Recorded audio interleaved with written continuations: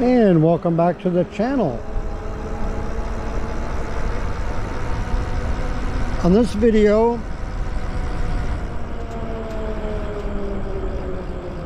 I want to talk about what's a legal e-bike versus illegal e-bike.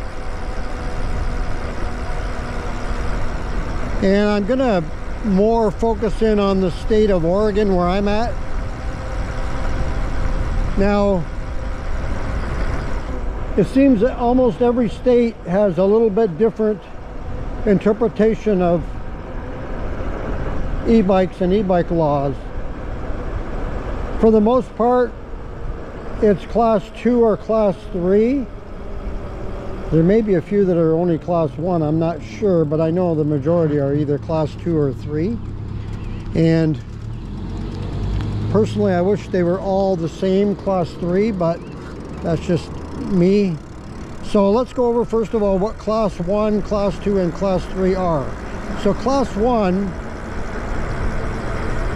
is an e-bike that is pedal assist only and does not ex uh, exceed 20 miles per hour. That's a class one.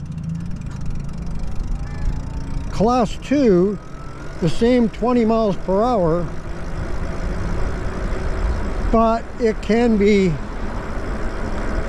throttle and pedal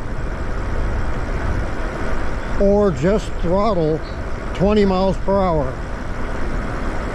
That's class two. And then you got class three which is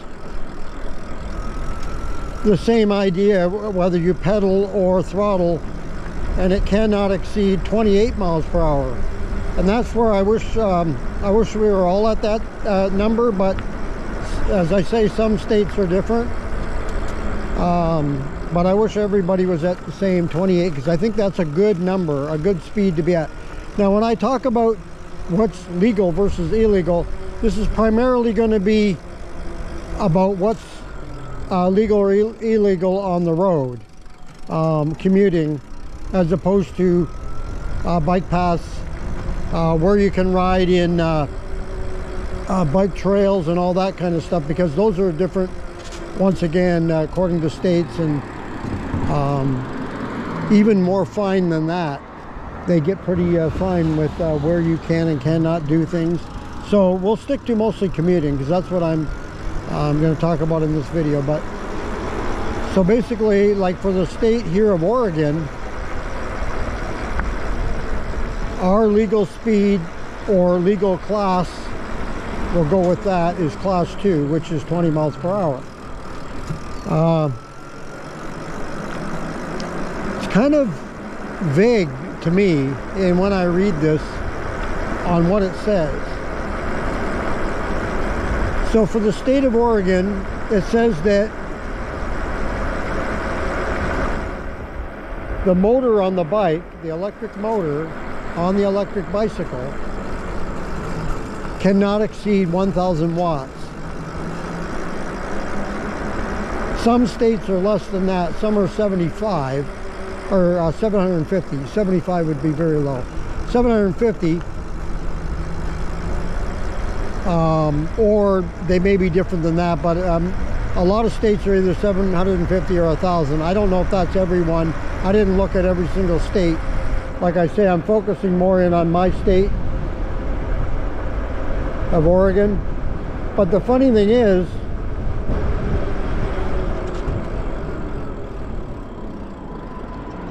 So you get that uh, limit of a thousand watts, but it doesn't say anything else. It doesn't say the voltage, for example.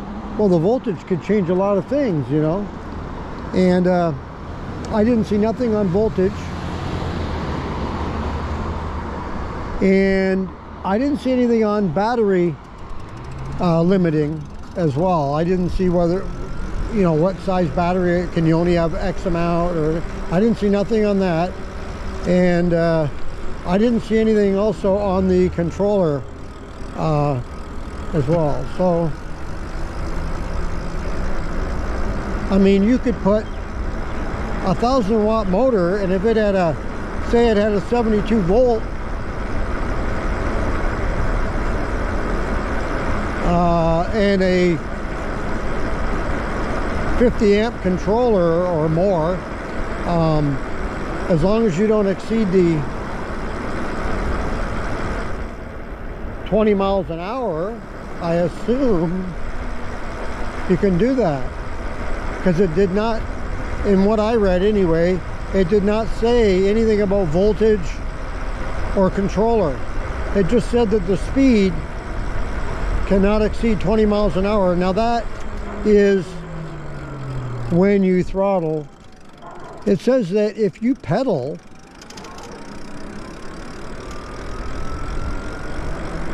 so for throttle only you cannot exceed 20 miles per hour uh, from what I read, but if you pedal assist with it, it's, it didn't give a maximum. It says you can go faster, but it didn't say how much faster. So I'm thinking, so what if somebody was, for example, ghost pedaling? You're pedaling. Also, the 20 miles per hour is on flat ground. So if you're going down a hill, I assume you can go faster because it said that was for flat ground. The other thing that's a little uh, gray uh, would be uh, how big the rider is. So let's say I'm on a class 2 bike which if I hit the switch which I will do right now this is now a class 2 bike and I weigh my weight myself is about 185 and let's say well let's see what I can get up to here for speed.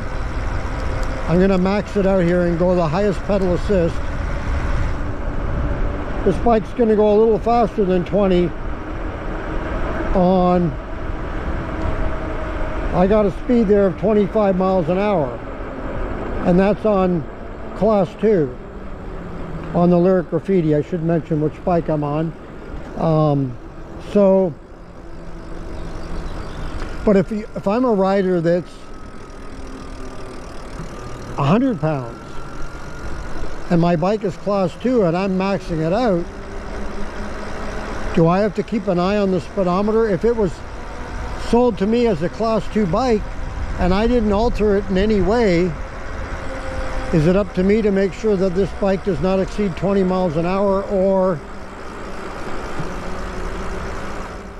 because it was bought as a class 2, it's up to the bike company to make sure that the bike cannot exceed 20 because like I say, if I'm if I only weigh 100 pounds, I'm definitely going to go faster than if I weigh 185 pounds. Or a guy that weighs 250 pounds. You know, I'm going to go faster at 185 than the guy 250 is on the same bike. So it's a little bit kind of vague to me.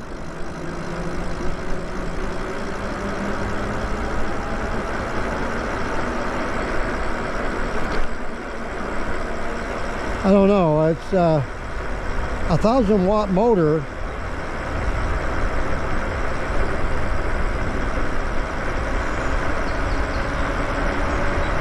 Like here I am again going full throttle,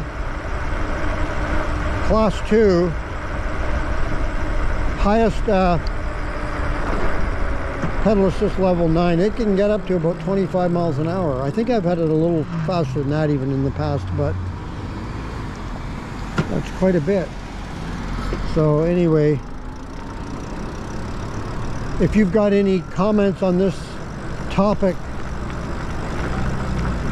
on e-bikes and legal limits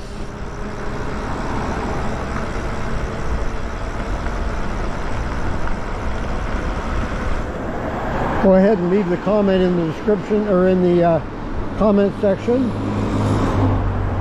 I'd be interested in hearing from you.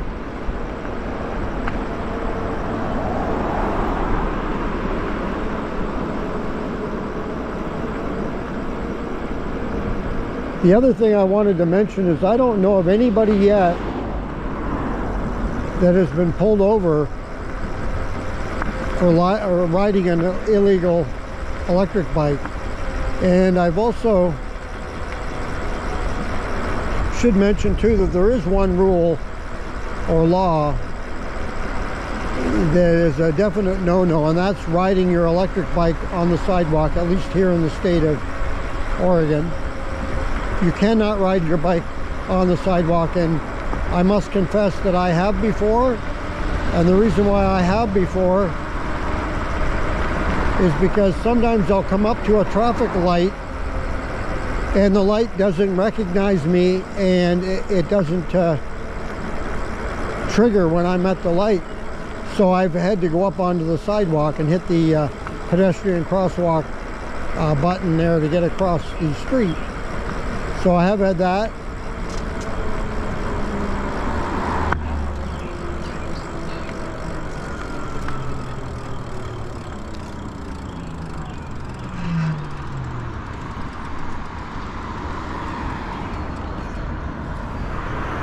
Lots of cars coming, but yeah, let me know what you think in the uh, comment section on this topic.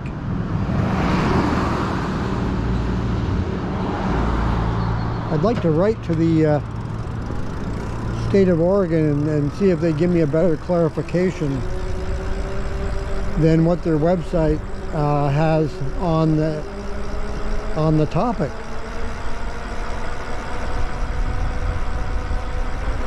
And the other thing about this, uh, what's legal and illegal, if you do have a bike that,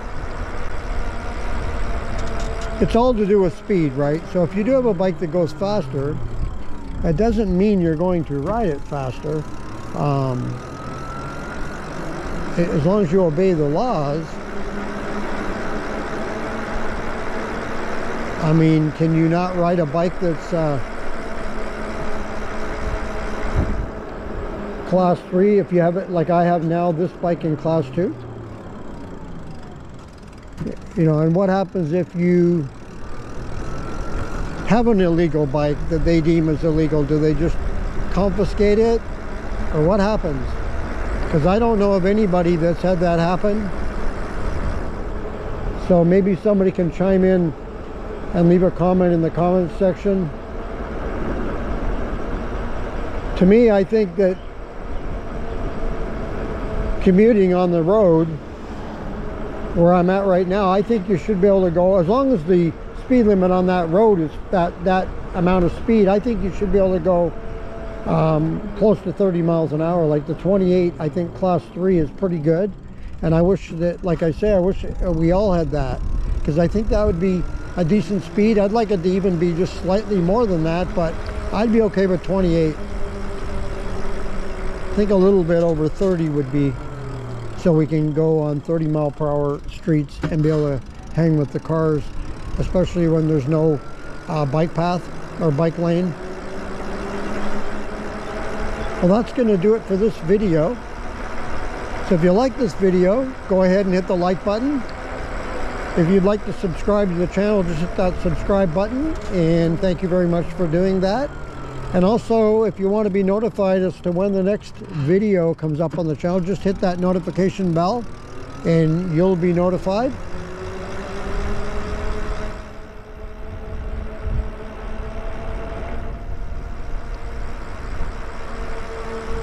So once again, thank you for joining me on this video. And until next time. Take care.